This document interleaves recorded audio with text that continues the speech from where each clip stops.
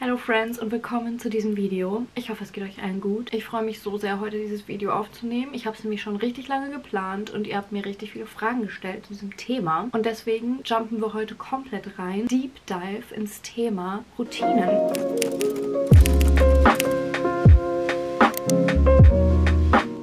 Vielleicht wisst, wenn ihr mich verfolgt, bin ich ein totales Routinen-Girlie. Ich habe meine Routinen, meine Morgenroutine, meine Abendroutine, meine Mittagsroutine. Ich weiß nicht. Auf jeden Fall habe ich sehr viele Routinen und plane meine Woche eigentlich immer sehr durch. Und ich möchte heute mit euch teilen, wie ich das mache, wie man das Ganze aufbaut, wo man anfängt, weil ich habe mir das auch alles erarbeitet. Ich habe mir das Wissen darum erarbeitet. Ich habe mir meine eigenen Routinen erarbeitet. Ich habe sehr viel ausgetestet, sehr viel ausprobiert, sehr viel geändert. Also es ist nicht einfach so von heute auf morgen Morgen passiert, dass ich meine perfekte Routine hatte und alles jeden Tag durchgezogen habe und jede Gewohnheit perfekt umgesetzt habe. Und ich möchte euch einfach so ein bisschen ermutigen, damit anzufangen und euch vielleicht einen kleinen Startschuss geben, wie man damit anfängt. Mich haben nämlich sehr viele Fragen erreicht und unter anderem auch die Frage, wie fängt man an? Woher weiß ich, welche Routine gut für mich ist? Wie kann ich entscheiden, welche Routine zu meinem Leben passt? Und genau diese Fragen möchte ich heute in diesem Video für euch beantworten. Und welcher Zeitpunkt eignet sich besser als Januar? Der neue Jahresstart, man hat Vorsätze, man möchte Sachen implementieren, man möchte ein neuer Mensch werden. Und ich zeige euch, wie es geht. Ganz wichtig am Anfang, jede Routine ist so individuell, wie ihr selber seid. Und nicht jede Routine passt zu jedem Menschen. Auch meine Routine wird zu 100% wahrscheinlich zu keinem von euch passen, weil sie genauso Copy-Paste einfach zu niemandem passt außer mir, weil ich sie ja auch für mich individuell so angepasst habe. Das nur schon mal im Hinterkopf, dass es wirklich sehr, sehr individuell ist. Erstmal vorab,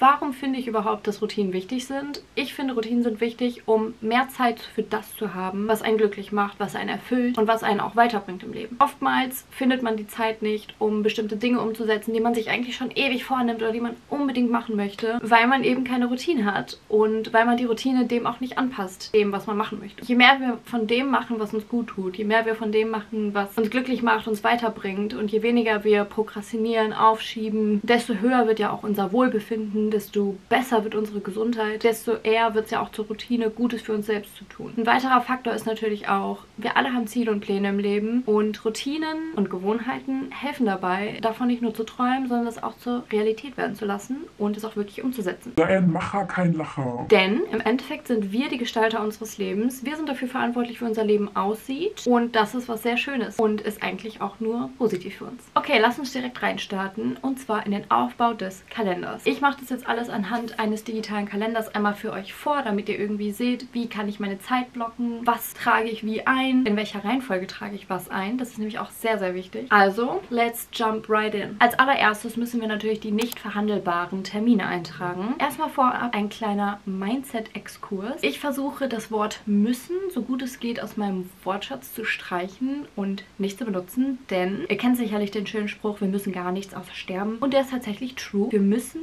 überhaupt gar nichts. Wir mögen im Endeffekt nur nicht die Konsequenz, welche eintreten würde, wenn wir das, was wir müssen, nicht tun würden. Zum Beispiel, das beste Beispiel, was ich immer höre, ich muss zur Arbeit gehen. Ich muss arbeiten. Musst du wirklich arbeiten?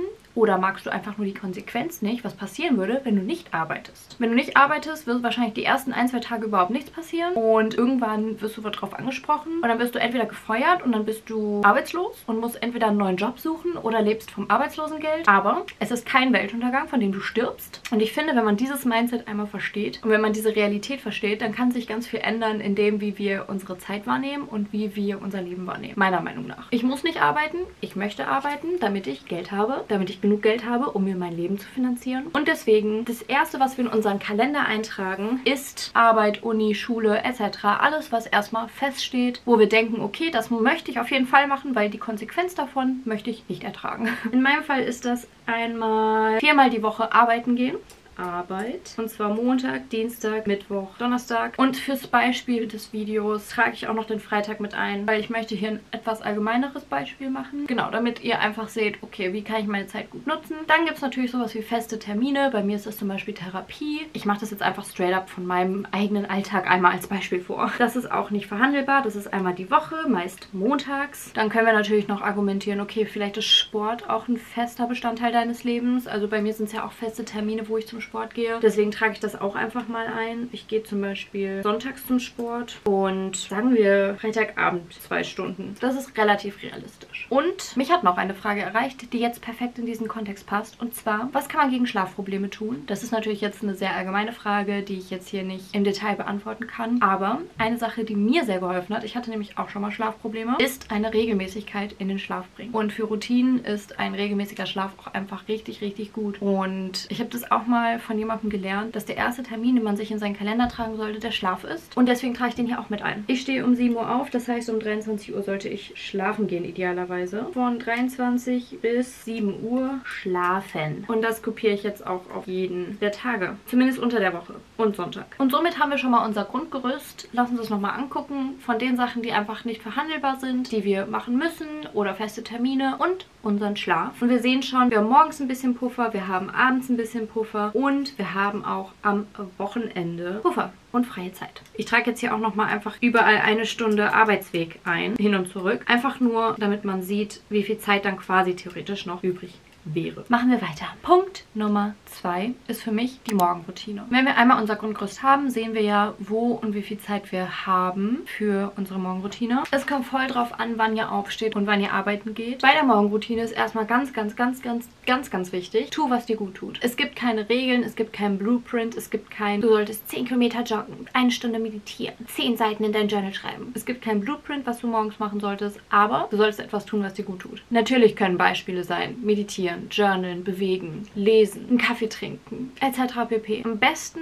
etwas, was ohne Technik funktioniert und am besten etwas, was irgendwie mindful ist, was einfach ein ruhiger Start in den Tag ist, wo du mit deinen Gedanken erstmal einfach nur bei dir bist und dich nicht von äußeren Einflüssen irgendwie schon prägen lässt morgens. Ich habe zum Beispiel auch die Regel für mich, ich gehe eine Stunde lang nicht ans Handy morgens und das würde ich auch jedem nur ans Herz legen, weil sobald du wach wirst und auf dein Handy guckst und du siehst die Notifications, du gehst auf Instagram, du scrollst, du guckst dir Sachen an und dein Kopf ist dadurch schon dann so geprägt und so voll mit diesem ganzen Stuff einfach. Ich bin der Meinung, erstmal eine Stunde ohne Handy auszukommen morgens ist super oder ohne Technik generell. Und deswegen tu, was dir gut tut. Am besten ohne Technik. Frühstück, wenn du ein Typ bist, der gerne frühstückst morgens. Für mich ist Frühstücken eigentlich so auch so nicht verhandelbar. Für mich ist es so wichtig, weil es mir so viel Energie gibt am Tag. Aber es gibt sicherlich auch Leute, die einfach nicht die Zeit dafür haben oder auch einfach nicht den Appetit morgens haben zu frühstücken. Im besten Fall würde ich vorschlagen, morgens mindestens 30 Minuten für sich zu nehmen. In meinem Beispiel habe ich anderthalb Stunden morgens, weil ich die einfach brauche. Davon sind aber auch nur eine halbe Stunde morgens für mich. Die andere halbe Stunde mache ich mich halt fertig und Frühstück und so weiter und so fort. Aber die erste halbe Stunde meiner anderthalb Stunden morgens sind nur für mich, wo ich wirklich nur mit mir bin, wo ich in mein Journal schreibe, wo ich meditiere, wo ich mache, was mir gut tut. Trage ich auch schon mal direkt ein. Genau, wie ihr seht, von 7 bis 8.30 Uhr habe ich anderthalb Stunden und die erste halbe Stunde davon ist für mich. Natürlich kann es auch overwhelming sein, wenn man um 6 Uhr schon auf der Arbeit sein muss. Dann kann ich natürlich verstehen, dass man so spät wie möglich aufsteht. Aber ich finde, auch dann kann man sich Zeit für sich selber nehmen. Es muss auch keine halbe Stunde sein. Und wenn es drei Minuten sind und du schreibst eine Minute Tagebuch, meditierst eine Minute oder machst kurz eine Atemübung für eine Minute und liest eine Minute, dann hast du schon mal was für dich getan. Dann bist du schon mal mental irgendwie anders in den Tag gestartet, als wenn du um 5 Uhr aufstehst, direkt ans Handy gehst, direkt aufstehst, direkt zack, zack, zack, zack, zack, irgendwie dich beeilst, dich hetzt, dich stresst. Selbst mit diesen drei Minuten, die man sich nimmt, hat man dann ja schon mal einen anderen Start in den Tag, meiner Meinung nach. Aber wenn es gar nicht für dich klappt, dann ist das auch okay. Dann kann man das natürlich auch mit einer Abendroutine kompensieren oder ja, sich zum Beispiel abends halt Zeit für sich nehmen. Ich finde nur, es ist sehr wichtig, auch gut in den Tag zu starten, weil das schon mal den ganzen Tag auch irgendwie setzt. Also die ganze Intention, wie man in den Tag startet und einfach gut tut. Das ist auch nur mein Tipp,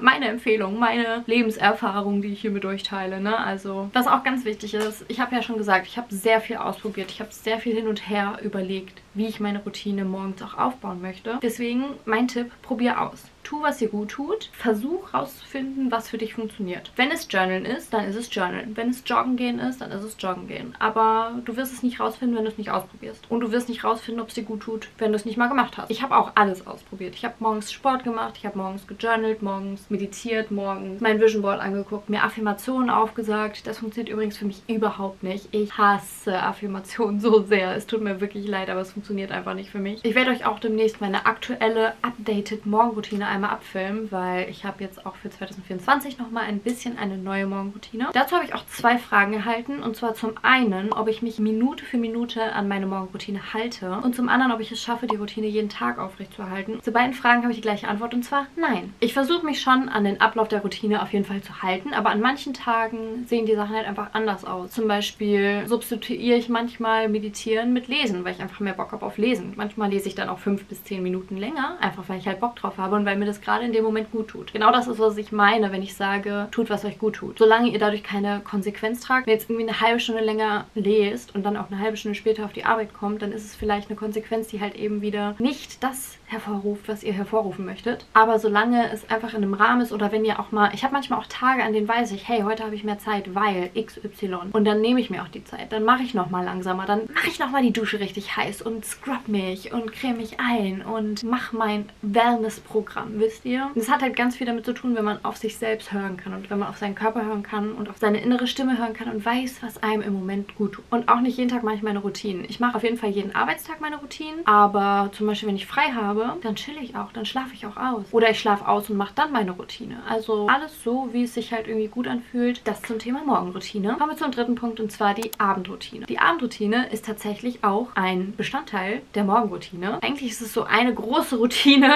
am Ende des Tages, was sich halt in den nächsten Tag reinzieht. Weil wenn du eine gute Abendroutine hast und du regelmäßig schlafen gehst, dann wachst du auch besser auf. Und dann kannst du auch besser in den Tag starten, also eine bessere Morgenroutine haben. In meinem Fall gehe ich um 21.30 Uhr mich fertig machen und ins Bett. Also um 21.30 Uhr startet quasi meine Abendroutine. Und es ist total wichtig für mich, weil ich komme dann runter, ich werde dann müde, ich kann den Tag schön ausklingen lassen. Und bei regelmäßiger Wiederholung dieser Routine wird man ja auch automatisch dann auch müde. Also bei mir sieht es so aus, um 21.30 Uhr mache ich mir erstmal Wasser heiß für einen Tee. Ich habe so einen Schlaftee, den mache ich mir jeden Abend. Ich ziehe mein Pyjama an. Ich mache mich Bettchen fertig. Also ich schminke mich ab, mache meine Skincare-Routine etc. pp. Und dann hüpfe ich ins Bett, nehme meine Tabletten. Ja, ich habe da ganz viele Tabletten stehen, die nehme ich jeden Abend, wenn ich ins Bettchen gehe. Und ich mache mir bestimmte Musik an. Bestimmte Gerüche können helfen. Und ich lese. Ich habe jeden Abend Endel an. Ich kann Endel wirklich nur empfehlen. Das sind wirklich Geräuschkulissen, die wirklich neurologisch erarbeitet worden sind und die einen runterbringen oder einen auch pushen, einen fokussiert machen, einen zum Einschlafen bringen. Und ich kann Endel wirklich nur empfehlen. Ich mache jeden Abend Endel an. Ich mache jeden Abend meinen Diffuser an. Das heißt, ich habe einen bestimmten Geruch, der mich ans Schlafen erinnert. Ich habe gewisse Geräusche, die mich ans Schlafen erinnern. Und ich lese. Leute, ihr wisst nicht, wie schnell ich müde werde. Ich bin um 22 Uhr quasi im Bett und um 23 Uhr ist meine Einschlafzeit. Aber ihr wisst nicht, wie oft ich auch schon um 22.30 Uhr einschlafe. Einfach, weil ich schon müde dann bin. Weil diese Technik so gut funktioniert. Wenn man das regelmäßig praktiziert, ist es wirklich ein Life-Changer. So, das heißt, ich habe meine Abendroutine hier drin von 21.30 Uhr bis 23 Uhr. Ich habe jeden Morgen und jeden Abend anderthalb Stunden Routine. Morgen- und Abendroutine. Und wenn man das so macht, dann erhöht sich die Schlafqualität wirklich immens. Und eine bessere Schlafqualität ist eine höhere Lebensqualität. Und auch hier ist natürlich wichtig, wenn ihr zum Beispiel Schichtarbeiten habt, ja, und nicht immer zur gleichen Uhrzeit schlafen gehen könnt, dann versucht euch wenigstens zwei, drei verschiedene Routinen aufzubauen. Also, dass ihr auch da irgendwie guckt, dass man sich das anpasst. Plus, wenn man dann halt eben diese Einschlaftechniken hat, von wegen Geruchskulisse, Geräuschkulisse, lesen, runterkommen, keine Technik mehr abends, sollte es auch eigentlich funktionieren, dass man dann auch immer gut einschlafen kann, auch wenn man zu verschiedenen Uhrzeiten schlafen geht. Und jetzt zum Thema, warum Abend- und Morgenroutine nur unter der Woche und nicht am Wochenende. Das habe ich für mich einfach auch so rausgefunden. Früher habe ich auch wirklich, auch am Wochenende, meine Routine durchgeballert. Auch am Wochenende bin ich zur gleichen Uhrzeit aufgestanden und so weiter und so fort. Aber ich habe realisiert, man darf und man sollte auch Ausnahmen machen. Und mir tut es persönlich so gut, einfach mal auch auszubrechen und einfach mal auszuschlafen, auch mal länger wach zu bleiben am Wochenende. Das gehört für mich zur Lebensqualität einfach voll dazu, dass ich halt auch mal eben aus der Routine ausbreche und das kann man halt am besten am Wochenende. Es ist halt schon wirklich essentiell, eine Balance zu finden zwischen Disziplin und Freiheit. Ich habe da irgendwann mal eine ganz tolle Grafik zugesehen und zwar die Pillars of Well-Being und das hat wirklich mein Denken verändert. Es sind vier Säulen quasi und an beiden Enden der Säulen sind jeweils die zwei Gegenteile und man muss immer die Mitte finden. Man muss die Mitte finden zwischen Work und Play, also zwischen Arbeit und Freizeit, zwischen Sozialisieren und Alleine sein, zwischen Disziplin und Freiheit. Das meine ich mit Man muss auch mal aus den Routinen ausbrechen, um die Routinen auch nachhaltig ausüben zu können. Und auch zwischen Bewegung und Ruhe. Diese Grafik, die gucke ich mir so gerne an. Ich finde die so gut. Routinen sind wichtig und richtig, aber gönnt euch auch Freiheit von Routinen. So, und jetzt kommen wir noch zu einem sehr interessanten Punkt, der vielleicht nicht für jeden relevant ist, aber für mich zum Beispiel sehr relevant ist. Ich habe acht Monate am Stück, fünf Tage die Woche gearbeitet und habe nebenbei noch mein YouTube-Video gemacht, weil wir kommen zu Punkt Nummer vier für den Kalender. Passion Projects. Für mich ist YouTube ein absolutes Passion Project und ich bin mir auch sicher, dass es so viele Menschen da draußen gibt, die irgendwie sagen, oh, ich würde gerne meinen eigenen YouTube-Channel starten, ich würde gerne ein Buch schreiben, ich möchte einen Podcast starten, ich möchte malen, ich möchte was auch immer. Ihr habt sicherlich auch so ein Passion Project. Woran willst du arbeiten? Was ist dir wichtig? Auch dafür sollte man sich feste Zeiten setzen. Das ist wichtig. Ich habe zum Beispiel immer mittwochs an meinem YouTube-Video gearbeitet. Ich hatte da ungefähr anderthalb Stunden Zeit. Wenn man jetzt noch Kochen und Essen und sowas abzieht, hatte ich abends von 20 bis 21 Uhr Zeit an meinem YouTube-Video zu arbeiten. Und ich habe am Wochenende daran gearbeitet. Ich habe meistens samstags tagsüber dann irgendwann drei, vier Stunden daran gearbeitet. Ich trage es jetzt einfach mal für so vier Stunden am Wochenende ein. Wie viel ihr im Endeffekt wirklich daran arbeitet oder wie viel ihr daran arbeiten wollt, ist natürlich ganz euch überlassen. Es gibt natürlich Leute, die sagen, ich will da jeden Tag dran arbeiten. Dann könnt ihr auch natürlich in eurer Morgenroutine da irgendwie Zeit für finden oder halt jeden Abend daran arbeiten. Ich habe es eben mittwochs und samstags immer gemacht und habe es damit geschafft, ein Video die Woche hochzuladen hochzuladen. Ich habe natürlich auch noch gefilmt. Das habe ich aber meist so nebenbei gemacht, weil ich ja eben Vlogs mache. Und was auch ganz wichtig ist, wenn das wirklich Ziele und Pläne sind, die ihr im Leben umsetzen wollt, dann priorisiert das. Priorisiert das, tragt das in euren Kalender ein und da seid ihr beschäftigt. Da seid ihr busy. Wenn dann jemand fragt, hey, was machst du am Samstag um 13 Uhr? Da sagst du, nein, ich kann nicht. Na, natürlich müsst ihr das nicht so sagen, aber für mich war es sehr wichtig, dass ich meine Passion Projects auch ernst nehme. Dass ich da wirklich dran arbeite, dass ich da wirklich mir die Zeit für blocke und halt dann auch wirklich Leuten sage, nee, da kann ich nicht. Man muss auch manchmal Nein zu Sachen sagen. Joy of Missing Out, Leute. Joy of Missing Out. Und vielleicht habt ihr das auch gar nicht. Vielleicht sagt ihr, hey, ich bin mit meinem 40-Stunden-Job mega zufrieden. Das ist, was mich glücklich macht. Dann braucht ihr das gar nicht. Dann könnt ihr euch die Zeit für Hobbys nehmen. Dann könnt ihr euch sagen, okay, Mittwochs strecke ich immer. Irgendwie sowas halt.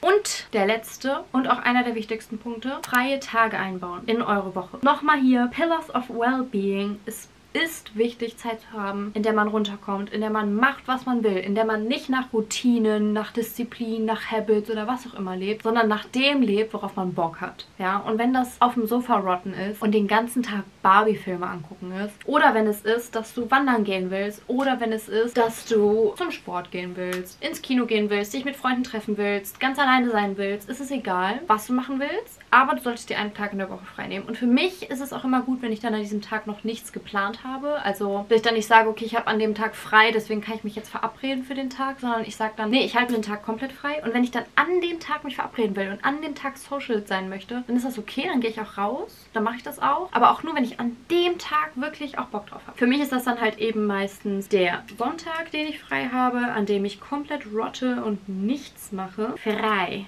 Und ich gehe da zwar auch zum Sport dann sonntags, aber das ist ja für mich auch eine Freizeitaktivität. Das macht mich auch glücklich und das ist auch was, worauf ich Bock habe. Aber es ist schon sehr wichtig, auch Rod Time zu haben. Also auch am Samstag und auch hier, auch hier habe ich ja Rod Time. Hier kann ich auch so lange wach bleiben, wie ich will. Und auch hier vormittags habe ich Rotting Time. Wisst ihr, was ich meine? Also man muss sich das einfach mal visuell bewusst machen, wie viel Zeit dann auch noch so einfach frei ist. Und was ich auch ganz wichtig finde, man muss sich natürlich auch bewusst machen, hey, meine Morgenroutine, meine Abendroutine, das sind ja auch quasi Freizeit. Freizeitsachen, die ich mache. Das sind schöne Dinge, die ich für mich mache. Jeden Tag. Nicht nur am Wochenende habe ich frei und nicht nur aufs Wochenende sollte ich mich freuen, sondern ich sollte mich auf jeden Tag freuen. Ich freue mich jeden Tag auf meine Morgenroutine. Ich freue mich jeden Tag auf meinen Tee. Ich freue mich jeden Tag auf mein Buch. Ich freue mich jeden Tag auf mein Bullet Journal. Ich freue mich auch abends auf Lesen immer. Also wirklich, das ist glaube ich auch so die Quintessenz von allem, was ich euch hier so erzähle. Macht das, was euch glücklich macht. Es ist so wichtig, Sachen zu machen, die euch glücklich machen. Und gleichzeitig auch Disziplin zu haben, um an den Dingen zu arbeiten, die wir wirklich machen wollen. Sei es jetzt so ein Passion Project oder sei es Sport. Ich könnte hier auch noch dienstags zum Sport gehen und donnerstags zum Sport gehen. Und dann wäre ich viermal die Woche beim Sport. Kommt halt immer drauf an, welche Prioritäten man setzt. So, ich habe euch jetzt genug voll gelabert. Ich hoffe, ihr habt verstanden, was ich euch mit diesem Video mitteilen möchte. Und ich hoffe, ihr habt verstanden, wie ihr gesunde Gewohnheiten in 2024 umsetzen könnt und eure Jahresvorsätze Realität werden können. Ich habe fertig. Wenn ihr noch mehr Fragen habt, dann stellt sie mir sehr gerne in den Kommentaren. Ich werde euch versuchen, so gut es geht, die zu beantworten. Denkt dran, ich bin auch kein Experte. Das das ganze Wissen, was ich hier habe, habe ich einfach aus jahrelang selbst Trial and Error System herausgefischt. Macht's gut, Leute. Wir sehen uns im nächsten Video. Und bis dahin, macht's gut, Leute. Much love to you. Danke fürs Zusehen. Lasst gerne wie immer ein Like und einen Kommentar da. Und abonniert natürlich diesen Kanal, wenn ihr nichts verpassen wollt rund ums Thema Productive, Cozy, Girly, Bullet Journal, Routinen. Bye.